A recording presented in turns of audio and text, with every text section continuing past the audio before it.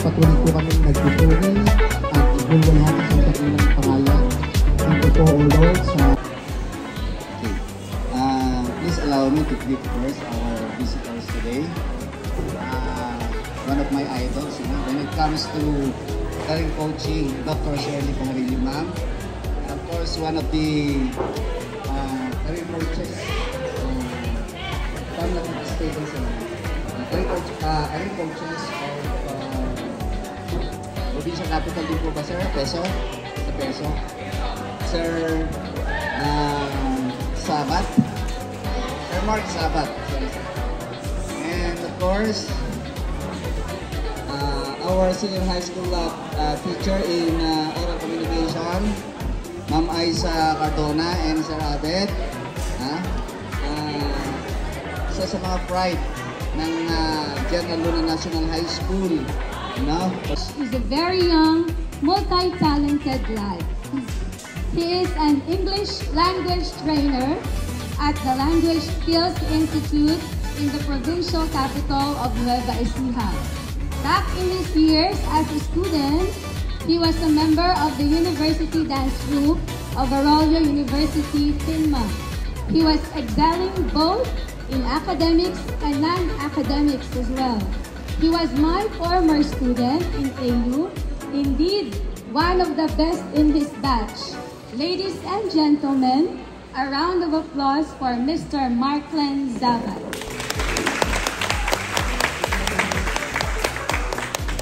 Our second judge, our resident jurado, is a master teacher too in the senior high school, a woman of diverse skills and creativity, an English teacher herself, one of my idols in terms of dedication in her work. My ate, please welcome Miss Christina L. Pagda.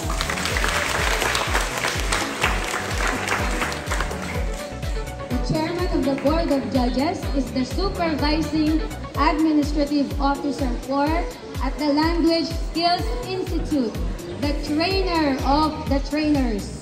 She was my former head teacher in the College of Arts and Sciences in Arroyo University, Pinma. My boss for six years, one of my mentors.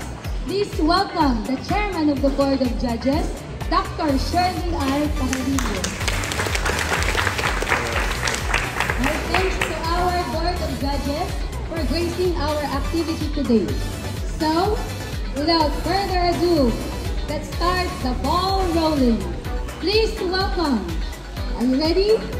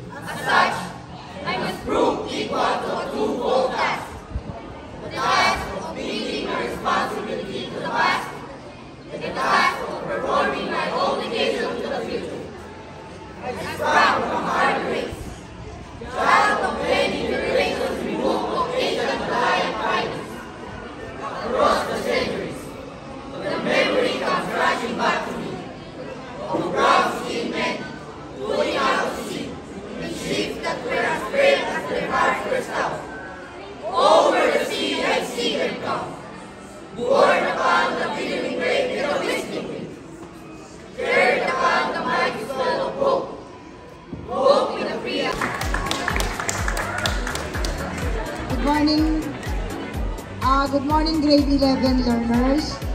Ah, ah, included ba kayo sa Feb 1 para sa career coaching or grade 12 lang?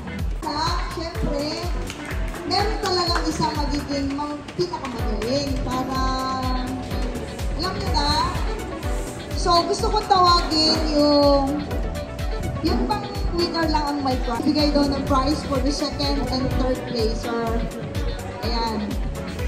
So, our winner for Advice. our oral reading competition.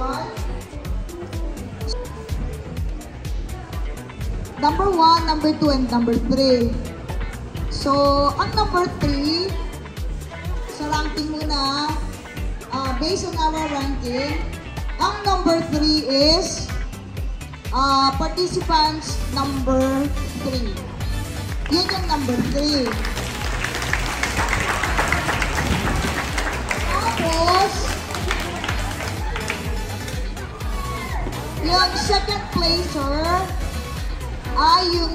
Siyempre, yung tinawag ko yung second placer, definitely, yung matitira, yun ang champion. Yun ang winner. Okay, so, So, yung second placer is yung group number one.